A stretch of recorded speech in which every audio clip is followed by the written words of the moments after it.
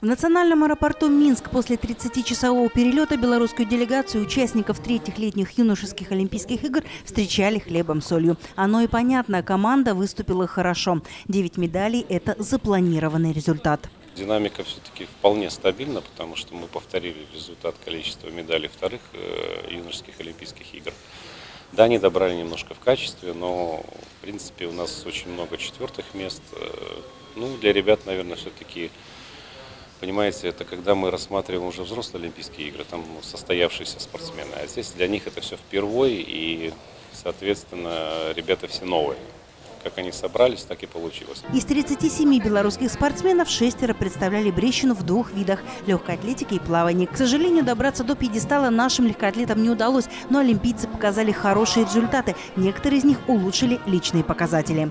Задача у нас э, была пробежать ближе к своему личному результату, который я показала на Европе.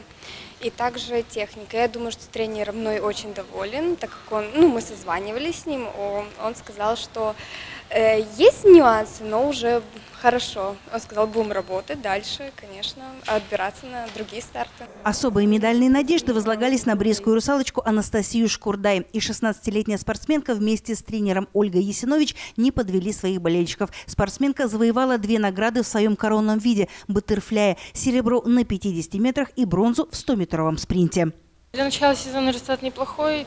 Наверное, из большего получилось что-то. Ну, наверное, не бывает такого, что все идеально проходит. Ну, вот получилось занять две медали, и тому рада, потому что когда ехала на соревнования, думала, что неплохо будет попасть в финал. Так что неплохо.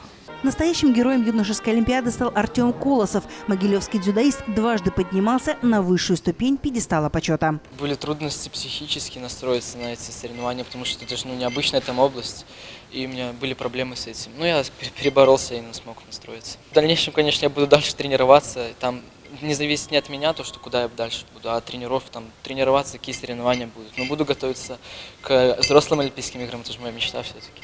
Ирина Альшова, Эдуард Бакунович, Дмитрий Лазарчук, телекомпания Бук ТВ.